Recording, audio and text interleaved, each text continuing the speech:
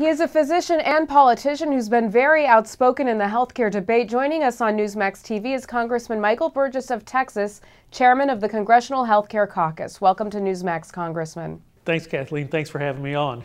A lot of numbers have been thrown out about the cost to reform healthcare. Obama's estimates are 1 to 2 trillion of upfront costs with 313 billion in budget cuts, he says. What do you believe this is really going to cost us?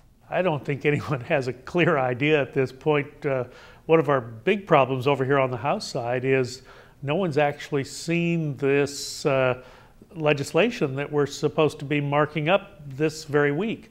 Obama says that spending now will save us money in the long run. Will the plan be a way to really save money on health care or just a move that's going to put us further into debt?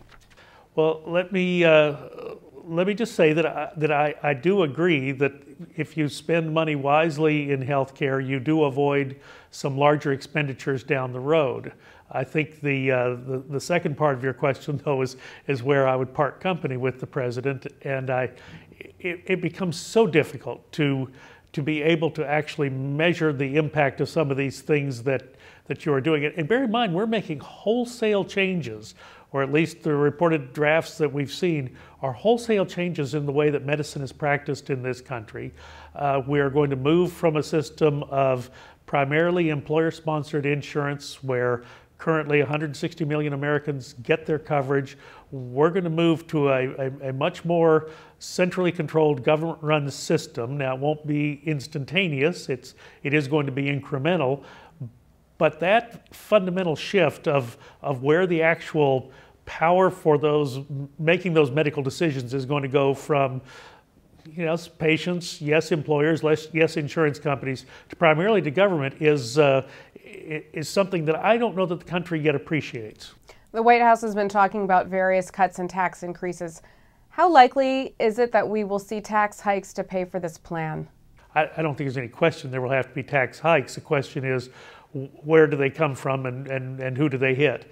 Um, we've heard a, a few uh, a, few new things this past couple of days, um, but honestly, the, um, the, the number and amount of, of tax increases are, I think, are going to be startling. Max Baucus says we can save money by eliminating certain treatments and tests, meaning that the government will tell you what you can and cannot do to your patients. As a physician, how does that sit with you? Well, you know, that's the, and, and herein is the problem. When I, when I, earlier alluded to the, the fundamental shift in how medicine is practiced in this country, uh, I don't like it when insurance companies do it to me. I don't, certainly didn't like it when the HMOs tried to dictate care. It's, uh, there's nothing about the government being in charge of that that's going to make it any bit more palatable to, to doctors or patients across this, across this country. Okay, President Obama says if we have a health insurance plan that we like, we can keep it. What are the chances that will actually happen, especially with the strong possibility that a public option could hurt private insurance companies? I think the uh, you know this is one of the great fantasies of the healthcare debate as we've as we've seen it uh, unfold, and it even goes back last year into the into the presidential campaign um, when President Obama had several of us over to the White House in March to talk about this he stressed that the one thing he would not accept was the status quo. And then the very next thing he said was, but if you like what you have, you can keep it. Well, wait a minute. You can't reject the status quo and then say, if you like what you have, you can keep it, when essentially over well over half the country, 60% of the country has insurance through employer-sponsored insurance. Another 10 million get their insurance through, through, through direct contracting with an insurance company.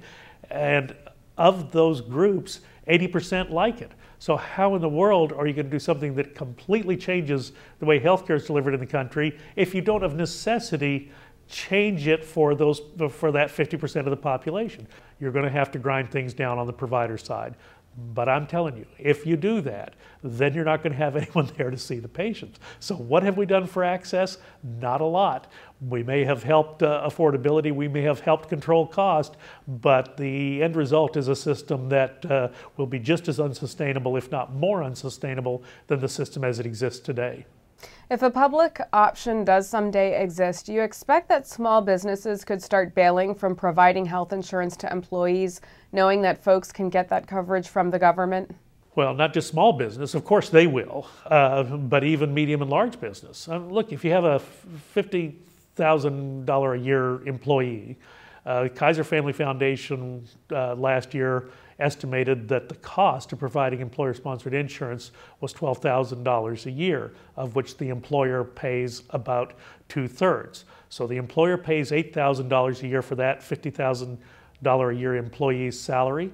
And do the quick math, and you realize that the employer can save $4,000 a year by paying the 8% fine and stopping the insurance. So the employer will make the, the, the, best business decision, the best financial decision for the business. They'll have to in order to stay competitive because every other company will be doing the same thing. Okay. President Obama is hoping to have a plan in place by the August recess. Why are we in such a hurry? We need to not look at the short view of this next election cycle or even the next presidential election, but let's look at the 30, 40, 50 year view and try to make sure that we're, we're, we're making decisions that are in the best interests of the Americans that are going to come long after we've, we've gone on to our rewards, but the Americans who will be here in 2050 and 2060 who are having to live with the effects of this legislation that we now feel pressured to pass within the next couple of weeks' time. That makes no sense. It's more important for us to get this right than it is for us to get it done by the August recess. Uh, haste makes waste in, in this situation, or in the popular vernacular, speed kills. Mm-hmm. Congressman, as a physician, a patient, and a legislator, in your opinion, what's the best way to reform the healthcare system right now? Well, anything that you do that keeps the patient at the center of the universe is, in my opinion, going to be good. And anything that you do that increases the value of the interaction that occurs between the doctor and patient in the treatment room is going to be good.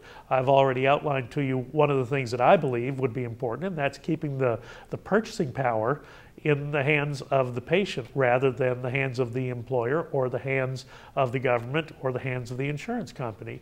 If the patient and doctor are directly contracting with those decisions that are in the patient's best interest to either get the patient well or keep the patient well, better decisions are going to be made. All right, Congressman Michael Burgess from Texas, thank you so much for joining us. I appreciate the time. Thank you. And thank you for watching Newsmax TV.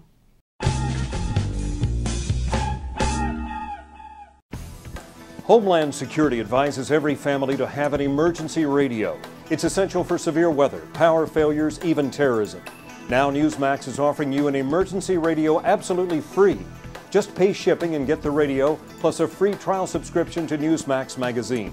Go online to Newsmax.com to check out the details of this great offer. Get your free emergency radio today. Just call 800 Newsmax. Make sure your family is protected. Call now 800 Newsmax.